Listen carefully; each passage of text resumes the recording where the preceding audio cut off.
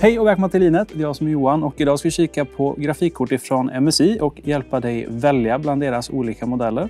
Som ni ser så har vi ett gäng olika modeller här och det är både RTX och GTX-kort. Men alla är från den senaste generationen, Turing alltså. Så det vi kommer göra i den här videon är att ta en liten snabbtitt och rekommendera vad man använder respektive kort för så att du förhoppningsvis har bättre uppfattning om det när du själv ska välja vilket kort du ska ha. Det vi pratar om idag kommer att applicera på hela serierna. Så till exempel pratar vi om gaming-serien eller Ventus-serien så det gäller då alla modeller. Men det kan finnas saker som skiljer eller så kan det komma nya varianter av dem som ser lite annorlunda ut. Så kika alltid på produktsidan innan köp.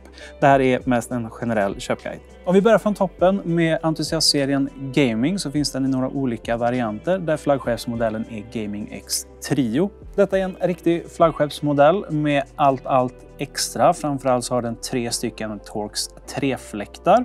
Och MSIs Torx-fläktar och Frozer-kylning känner vi igen sedan tidigare och vi vet att det är väldigt högpresterande och tysta varianter. Fräckt med den här modellen är också att den har egen PCB vilket tillåter bättre strömförsörjning och högre fabriksöverklockning. Och som vi ser så har de också en väldigt läcker backplate. Den är också utrustad med RGB. Det här är Mystic Light RGB som du då kan synkronisera med andra enheter som har MSI Mystic Light. Däribland till exempel då moderkort från detsamma. Och detta är kort och gott bara ett monster till grafikkort. Här får du topprestanda, du får alla deras extra funktioner och så får du ett riktigt, riktigt snyggt grafikkort dessutom.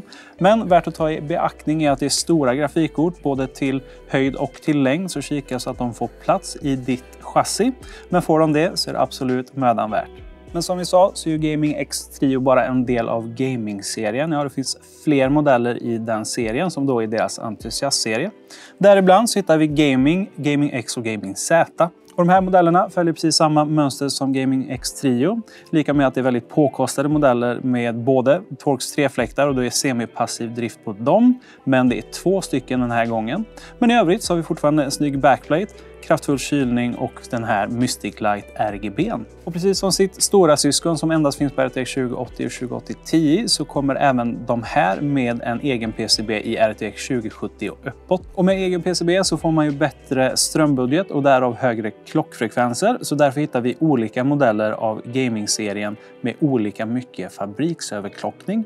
Och det är där Gaming, Gaming X och Gaming Z kommer in. Och i stegen hittar vi Gaming, Gaming X och Gaming Z allra högst upp på toppen med mest fabriksöverklockning.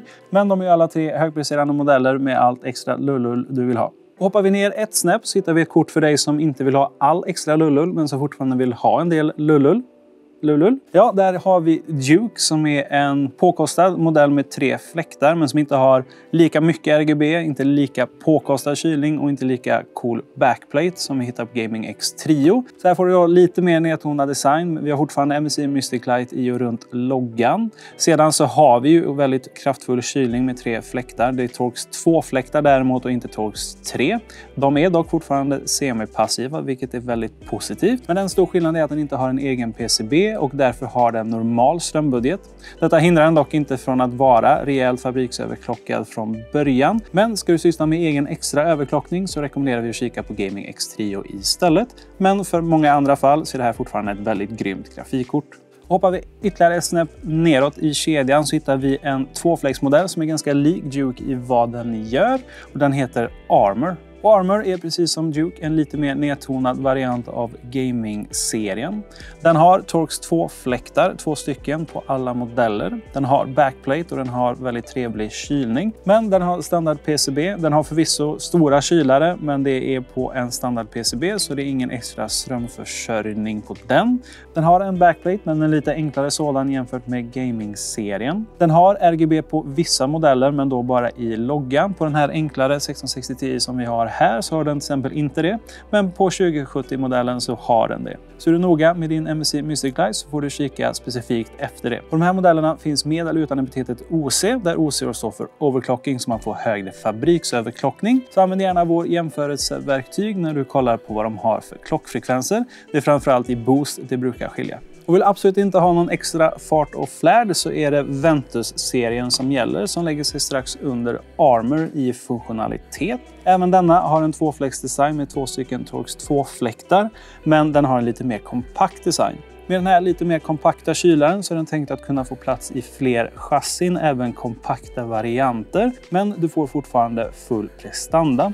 Och det är just det som är nyckelordet med den här modellen. Det är pris per prestanda. Här så har de lagt allt krut på fläktar, enklare backplate, enklare design, ingen RGB. Så det är helt enkelt tänkt för dig som inte vill ha de extra funktionerna utan nöjer dig med ett schysst grafikkort helt enkelt. Och precis som med Armor så finns de här både med vanlig eller OC-variant för dig som vill ha lite extra kräm direkt från fabrik. Och andra modeller för dig som vill ha någonting till ett kompakt chassi är Aero-varianterna. De här finns i två olika modeller. Om vi börjar med vanlig Aero så är det en vanlig radialfläkt på den. Klassiskt referensutförande. Och även om öppen design är det som har tagit över marknaden och det man rekommenderar till välkylda chassin så finns det ju fortfarande icke så välkylda chassin och då kommer de här in i bilden. Tack vare att de använder radialfläkt så kan de suga ut luft ur varma chassin istället för bara veva runt den. Så med andra ord har ett chassi som inte har naturligt bra med utblås så är det en sån här modell som kan hjälpa med det. Och det är just därför den här modellen finns. I övrigt så är det inte så mycket annat att säga om den. Det är ganska enkel design. Har standard PCB och håller sig inom två stycken PCIe-platser. Och har du de absolut minsta ITX-chassina så är det ITX-grafikkort som gäller. Och Aero finns även i ett sådant utförande. Här är det öppen design som gäller med en enda fläkt, men fräckt nog så finns det faktiskt en 2070-modell av den, den som jag håller i här. Som ni ser så är det ett väldigt litet grafikkort, men vi har alltså ett 2070 som gömmer sig här under skruden. Det här chippet är ett väldigt kraftfullt chip och det är imponerande att man lyckas kyla den med en så här kompakt kylare. Så är du ute efter att göra ditt lilla, lilla chassi eller till och med din HT-PC till en riktig prestandaburk så är det en sån här modell du ska kika på. Men då hade vi rekommenderat att chassit har någon slags utblås för att det här är ju ingen radialfläkt så den kommer ju bara veva runt luft även om den gör det effektivt. Men den riktiga entusiasten ser att vi inte har haft med alla modeller. De har faktiskt tre stycken ytterligare entusiastmodeller som vi inte har med oss här. Och det är just för att de är ovanliga, svåra att få tag på och väldigt påkostade. De tre modellerna, om du är intresserad av dem, heter Lightning Z, vilket är deras absolut mest påkostade och kanske världens mest påkostade luftkylare på grafikkort. Coolt med den är att den där ibland har OLED-skärm. Den har kolfiber på sin backplate, eller hela backplaten inom kolfiber.